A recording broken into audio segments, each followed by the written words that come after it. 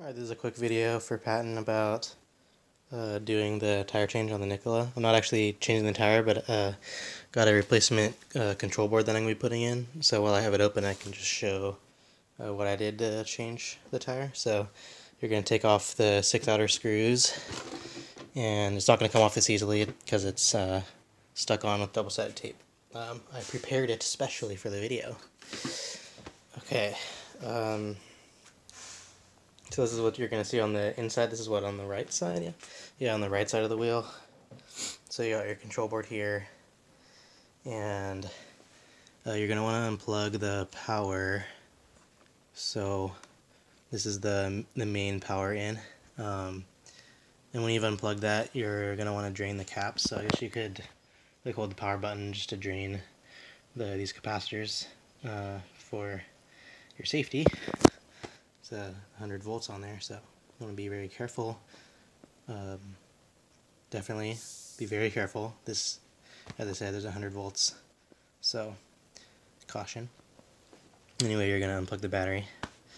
Uh, other things you need to unplug is, uh, so you'll see coming from the motor here, I have it taped. It won't look like this. It's just going to be gooped in, a cap gooped in the black silicone.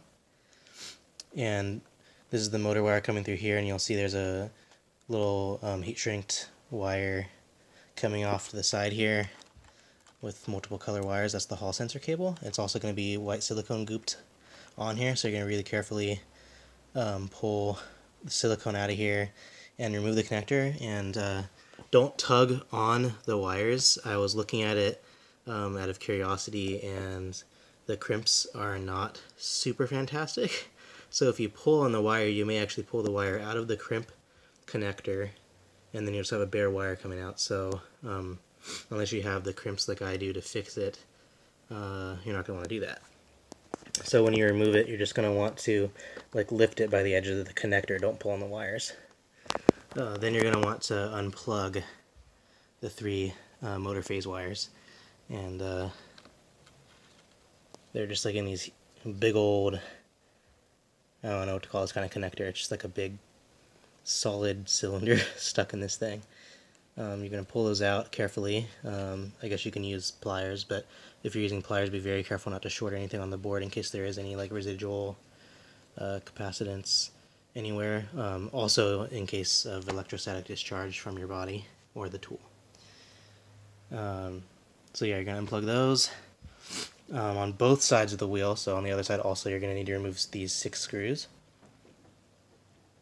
Uh, and then lastly, uh, if you go down in, in the bottom here, uh, do I want to do this on video? I'm not going to do it, um, but I'll explain. So you're going to like peel up the uh, gasket here along with uh, this diffuser for the LEDs.